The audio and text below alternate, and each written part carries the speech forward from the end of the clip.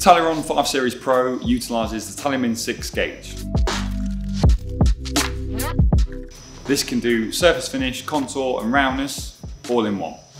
The reason it can do that is it has a high resolution and a large 4mm gauge range. Ideal for this component here. So we can contact onto the component and do the roundness measurement.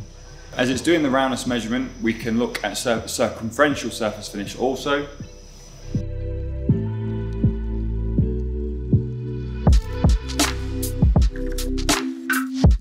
can now do the vertical straightness measurement. This will look at contour and surface finish.